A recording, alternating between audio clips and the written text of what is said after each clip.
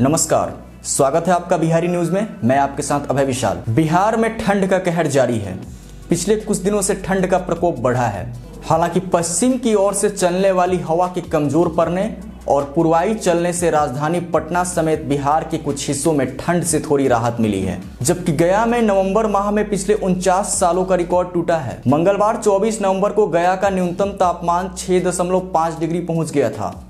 गया में 1970 के बाद नवंबर माह का यह सबसे न्यूनतम तापमान है। 1970 के नवंबर माह में 29 तारीख को गया का न्यूनतम तापमान 6.6 डिग्री सेल्सियस हुआ था। मौसम विभाग के अनुसार पिछले दो दिनों में 20 से 25 किलोमीटर की रफ्तार से उत्तर पछुआ हवा चल रही थी, जो अपने साथ ठंड भी ला रही थी। इसकी वजह से ठंड बढ़ गई थी।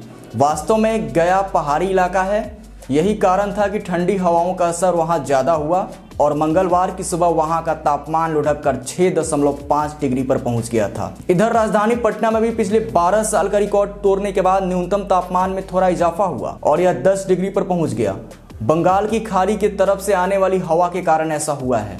बिहार में पछुआ हवा चल रही थी और पश्चिम के राज्यों, जम्मू कश्मीर, हिमाचल प्रदेश आदि राज्यों में बर्फबारी पड़ने का असर बिहार में भी देखने को मिला। यही कारण है कि बिहार में ठंड का प्रकोप बढ़ गया। राजधानी पटना में अगले तीन दिनों तक न्यूनतम तापमान 10 डिग्री या उससे थोड़ा अधिक रहेगा। मंगलवार को दिन में अच्छी धूप खिलने से दिन के तापमान में भी सुधार देखने को मिला। दिन का तापमान 27 डिग्री से अधिक रहा। सोमवार को यह 24.4 डिग्री तक चला गया था। तो आइए जानते हैं कि आने वाले दिनों में राजधानी पटना समेत बिहार के अन्य हिस्सों में कैसा रहेगा मौसम का हाल। मौसम विभाग पटना के अनुसार अगले तीन दिनों के बाद फिर से पछुआ हवा चलने का अनुमान है। राजस्थान के ऊपर एक पश्चिम विक्षोभ बना हुआ है, जिसका असर बिहार में दिखेगा और यहाँ ठंड बढ़ेगी। वहीं कपाने वाली स्थिति दिसंबर मध्य तक आने की उम्मीद है। बिहार के लगभग सभी हिस्सों में तीन दिन बाद एक बार फिर ठंड बढ़ने की उम्मीद है। बिहार के उत्तर पश्चिम हिस्से में 28 नवंबर तक न्यूनतम तापमान 11 डिग्री, जबकि अधिकतम तापमान 30 डिग्री रहने का अनुमान है। इस हिस्से में पश्चिम चंपारण, पूर्वी चंपारण, सिवान, सारण और गोपालगंज ज़िले आते हैं।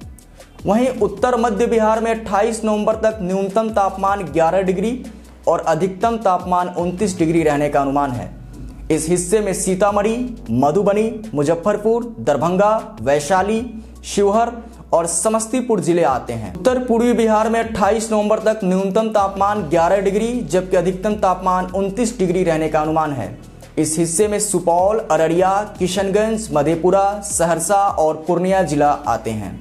बात दक्षिण पश्चिम बिहार की करें तो इस हिस्से में 28 नवंबर तक न्यूनतम तापमान 10 डिग्री, जबकि अधिकतम तापमान 28 डिग्री रहने का अनुमान है।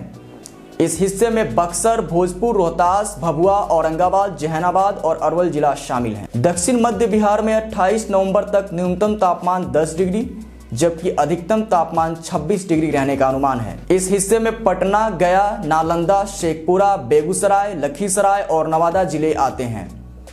दक्षिण पूर्वी बिहार में 28 नवंबर तक न्यूनतम तापमान 12 डिग्री, जबकि अधिकतम तापमान 27 डिग्री रहने का अनुमान है। इस हिस्से में कटिहार, भागलपुर, बांका, मुंगेर, खगड़िया और जमुई ज़िले आते हैं। तो आज के लिए बस इतना ही। बिहार की हर छोटी बड़ी खबरों से रूबरू रहने के लिए देखते रहिए बिहारी न्यूज़। धन्यवाद।